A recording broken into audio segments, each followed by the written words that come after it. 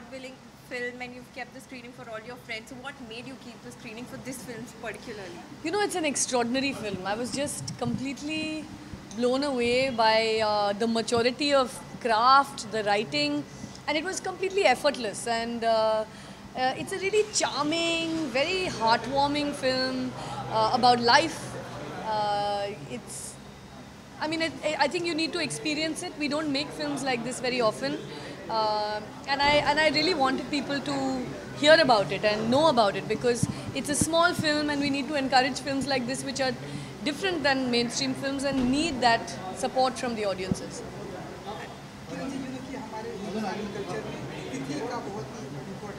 जी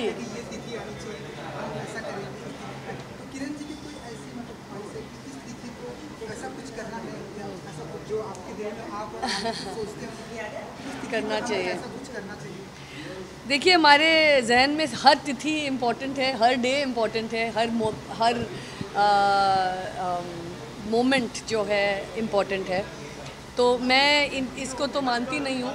खुद कि कोई स्पेशल डे होता है जब आप कुछ करें मैं इन चीज़ों में अ, विश्वास नहीं रखती हूँ। मेरे अ, मेरा मेरी सोच ये है कि जब आपको कुछ करना है उसका कोई सही वक्त नहीं होता।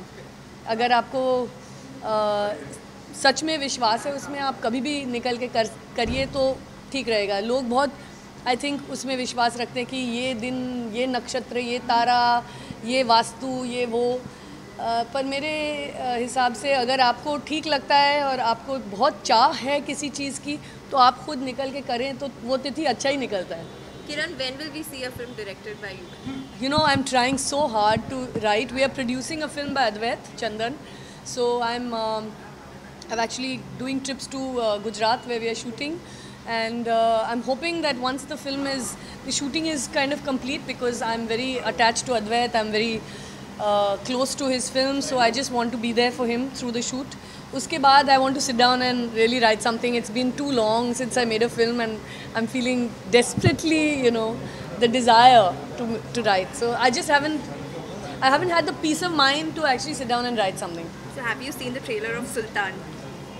Uh, no, I have not. I want to see it. The new trailer. Yes, no, I have not seen it. Is it good?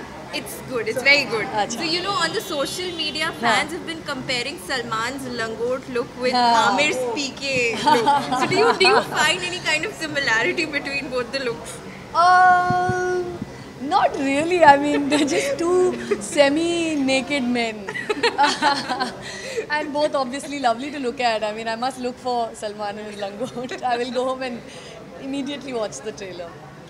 Thank you. Thank you.